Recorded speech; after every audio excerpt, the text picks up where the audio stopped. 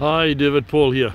Um, I'm back at uh, Port Porlock Weir and um, I'm just having a, a last video of the place because the tide is in and uh, good opportunity to see the boat with the tide in. So anyway, this is the scene that I'm in.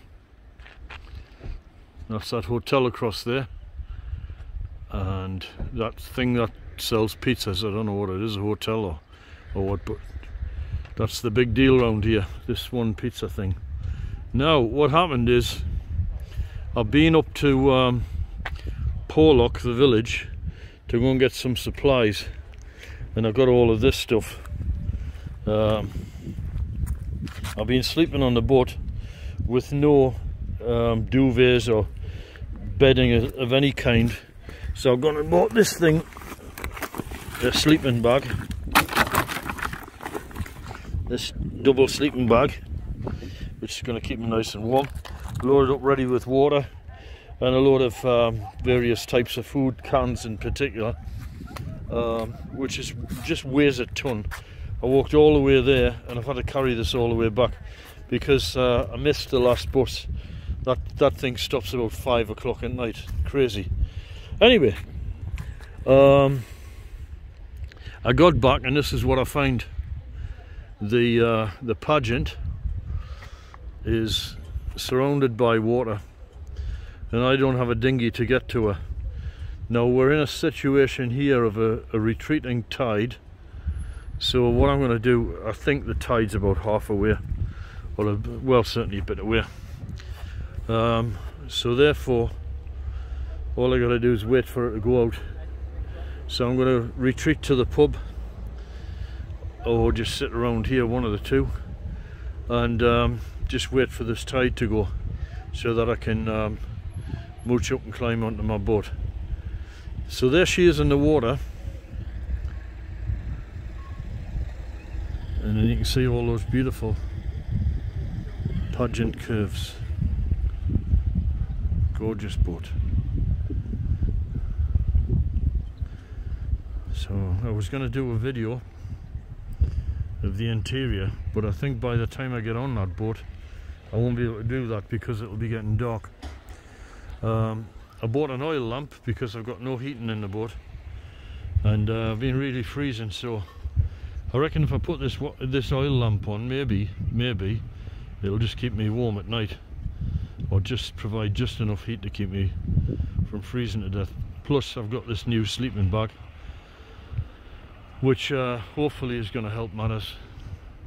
As I'm watching this I can actually see she seems to be getting closer and closer to the edge there. There's a sort of boundary there like a wooden log edge to the uh, I don't know sunken wharf or whatever it is and as the tide goes out she just creeps forward settles down just in the perfect position to climb aboard.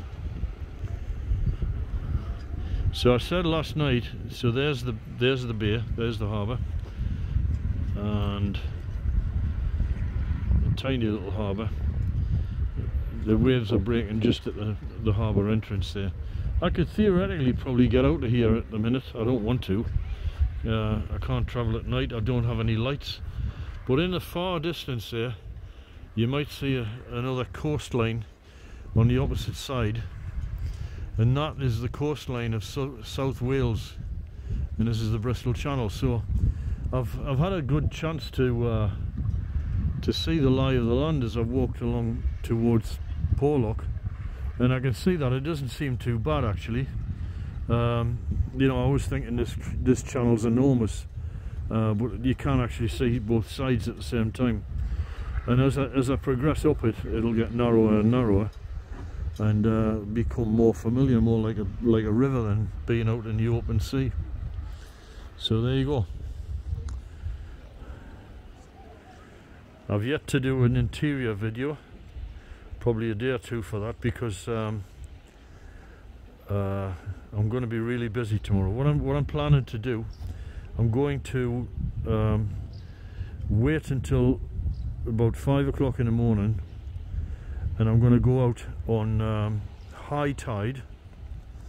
So I'll have enough to get me out of that entrance there.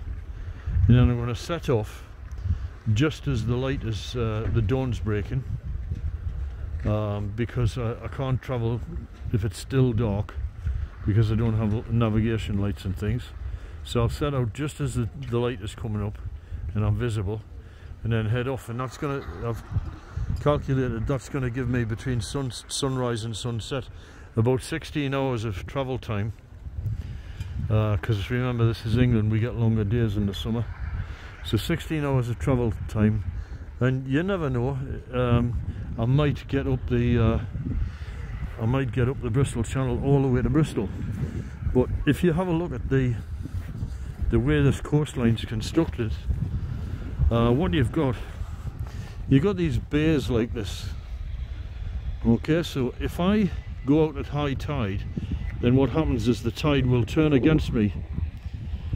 Um, so it's turning against me and uh, so I'm having to, having to battle against the tide. Well what you do you can do a trick. If it works it doesn't work everywhere but you can have a go which is to head into the shallower waters like these and hop across these bays point to point and keep out of the deep water in the middle there. And therefore um, what you get in the shallow areas is a lot of drag which causes the currents to slow down uh, or even sometimes go in a circle in the direction that you want them to go so they're actually helping you. And uh, you can spin from one bay to another. So as you're doing this you're not making very good progress but then what happens is uh, once the tide changes in your favor you head out into the middle of the into the middle of the channel there and then just ride the, the tide uh, sail as fast as you can on top of the tide. You can do things like 11 knots and stuff you know which is unheard of for a boat this size. There's another shot of the pageant anyway. I must um, put one tag this westerly pageant because there are so few so few videos on the internet about westerly pageants just ones for sale uh, where they just give you a few flashes inside. But there's no idea of scale or why this is a good boat or anything like that. But she's looking gorgeous there. She's so cute. So I'm going to leave it at that and then tomorrow we set sail.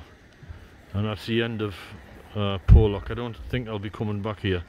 It's a very tough place to walk around. It's the hills here really hot and hard and um, I'm kind of exhausted. So it's an early night tonight and then early start. Bye